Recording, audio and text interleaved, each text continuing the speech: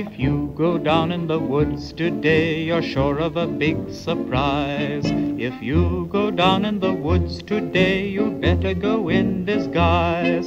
For every bear that ever there was will gather there for certain because today's the day the teddy bears have their picnic.